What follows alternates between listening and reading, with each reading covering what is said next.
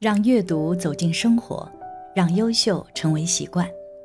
大家好，欢迎来到小叔说，小叔陪你一起阅读成长，遇见更好的自己。今天要给大家分享的是，老母亲狠心卖出发财猪，猪竟突然变成了一个女人。一起来听。在佛教当中，轮回又叫做流转、轮转，意思就是说。人在去世之后，灵魂会在六道当中继续轮回，生死相续，无有止息的去循环。轮回转世的概念，也为很多用现代科学解释不了的事情提供了合理的说法。记得曾经在网上看到一个故事，一位老母亲狠心地卖了发财猪，没想到晃眼一看，竟然是个披头散发的女人。究竟发生了什么？今天的故事由一位网友分享。故事中的我指的是分享人。我家九零年左右养了一头母猪，是从宁乡引过来的品种。这头母猪生下来的小猪都能吃能睡能拉，长得快，肉多。一般人家的小猪要养四个多月才能出栏，我家这母猪下的猪仔常常养三个多月就可以出栏了，所以很受左邻右舍的喜欢。我曾见那母猪下过几次猪仔，小猪生下时，老母猪都会小心翼翼地移动身子，生怕压了小猪。知道把奶对着还没有睁眼的小猪仔，生的数量少时也有七八只，生的多时有十五六只。母亲对它也是精心照料，知道它生崽辛苦了，接下来几天会煮些米与干净的青菜拌在一起给它吃，平时就吃些糠渣之类的。要是老母猪不舒服了，母亲也看得出来，自己到兽药站配点药，或者做点什么土方子吃了便好了。这头老母猪好养不劳神。一九九六年发大洪水，粮食都不够吃，很多人家把猪给卖了。到了一九九七年下半年，猪价狂涨，猪仔卖到每斤十二元。记得卖猪仔那天，我们全家四五点钟就起来了。当时窗外已经有邻居在嚷嚷了，老母猪挺有灵性，看到这么多人来抱它的孩子，站起来用头一顶，发出吼吼的叫声，开启了保护小猪的阵势。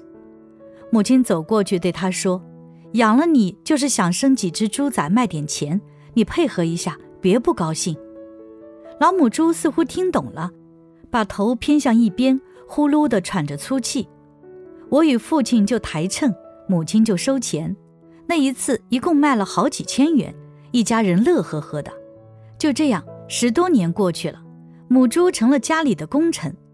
我与小妹念书的费用多半靠它了，它也慢慢的老了，生的猪仔一年比一年少了。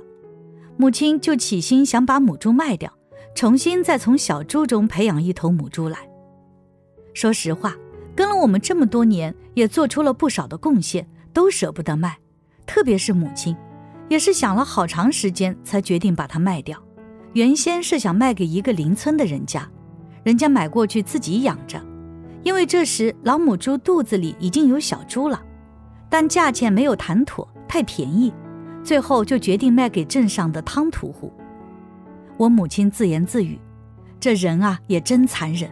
需要他的时候就同家中的一员一样，现在不需要了，还不惜卖去屠宰场。”母亲内心还是有旧意的。当汤屠户开着手扶拖拉机来的时候，我家地坪里站了好多看热闹的人。一切准备妥当，就去猪圈把老母猪赶出来。猪圈门打开后，汤屠户就用棍子去赶它，想把它赶到猪圈口，再拖出去送上车。但赶了一阵，老母猪站在猪圈最远的一角，四脚站立。看着外面的这些人并没有出来，汤屠户于是跳到猪圈中去拉猪尾巴。这时，老母猪身子一扭，一头向汤屠户撞去。汤屠户见状，撒腿就跑，幸亏跑得快，不然就撞到墙上了。他擦擦满头大汗，说：“处理了几十年猪，从来没见过如此彪悍的母猪。”众人见拉不出来，旁边的人就来硬的，两个小伙子走进去。一个拉猪的耳朵，一个在后面推猪的屁股，但怎么拉都拉不动它。后来邻居就来帮手，老母猪发威了，恶狠狠的要咬人。这些人也怕被猪咬，都不敢再进猪身了。这时有人提出去找我母亲，但找了一阵子没找到。他们不知道我母亲这时正躲在房间里掉着眼泪。以前也是，家里丢了只小猫小狗的，她都要哭，伤心好些天。何况这是天天看到的，陪伴了十多年的发财猪，只因老了就得把它卖了，这可能就是猪的命运吧。当我母亲来到猪圈边时，老母猪没有了刚才那样的惊恐和抵抗，见到主人，头很快就低了下去。母亲走到老母猪旁边，一边摸着它的耳根，一边给猪背抓痒，说道：“畜生啊，我也不想把你卖掉。”你是猪，是畜生，你就是这样一条命，下辈子不要做猪了。旁边的邻居们听了都笑我母亲，竟然会说出这等怜悯的话来。但猪还是不肯走出猪圈，一脸的祈求与哀伤样子。母亲劝了半天不动，也来火了，就用扫帚去赶它。也不知道是猪圈里有水，地板太滑的缘故，还是怎么的，老母猪突然前面两条腿跪下来了。停顿也就一两秒，刚好抬头就被母亲看到了。母亲赶紧去摸它，它很快站了起来，被母亲赶出了猪圈，被汤屠户他们拉到了拖拉机后面，准备装上车。装车前，先要把猪装进一个铁笼里，再把装好猪的铁笼抬上车。母亲根本不想看这一幕，远远地站在人群的后面，听着母猪的哀叫声。屠户们在忙着把老母猪塞进铁笼子里，大家也是费了九牛二虎之力才把它关进铁笼，准备抬上车。这时，母亲看到了惊人的一刻。本来母亲看见的是铁笼中猪的屁股，就在铁笼装车时，老母猪猛然一回头，母亲看到的却是一个披头散发的女人，穿着花格子衣裳，流着伤心的泪水望向自己。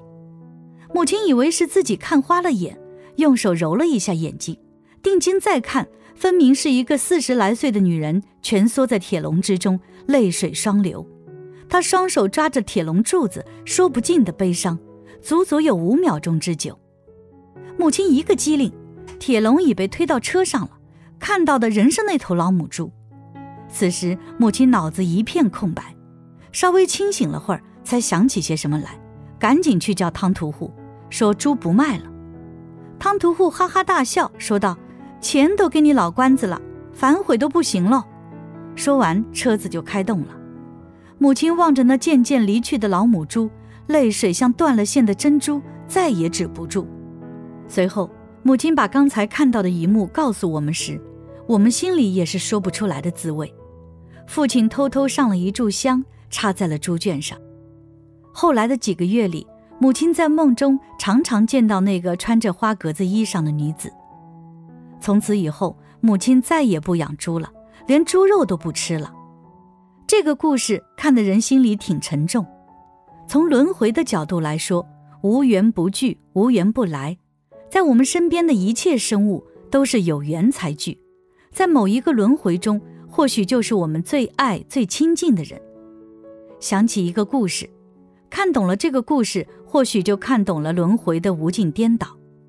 一天，佛陀的大弟子目犍连尊者到城中乞食，来到一施主家中，看见夫妇二人正在吃鱼肉，吐出的鱼骨扔给旁边的一条黑狗。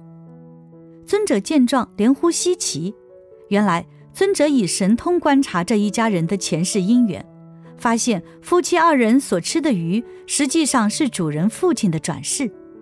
他父亲在世时，天天到鱼塘里捕鱼吃，结果去世后即转身为鱼。无知的儿子和他的妻子也总是捕鱼为食，致使老父亲不停转身为鱼。那条黑狗是主人的母亲转世，因为生前过分悭贪，不愿布施，每天只知道守护自家钱财，后在贪恋家财的心念中去世。去世后转身为狗，守财习性不改。白天黑夜在屋外转绕，唯恐有人入室盗窃。可见轮回一事非常奇妙。其实有了轮回，现实的生活才有意义，短暂的尘世生命才有了着落。一饮一啄，莫非前定，会让现世的人对自己的行为负责，会更加谨慎。如果人人都遵守了因果思想，或许这个社会就会少了很多的恶，那些肆无忌惮的贪官污吏也会越来越少，人们相互欺骗、算计等这样的事情都会减少。总而言之，如果生活中多了行善积德，或许如今的现世就会变得更美好。感谢你的观看，愿你福生无量。今天的分享就到这里了，希望你能给小叔点个赞，或者留言给出你的建议。别忘了把小书分享给你的朋友，让我们一起成为更好的自己。还没有订阅小叔的朋友，一定要记得订阅哦。我们下期不见不散。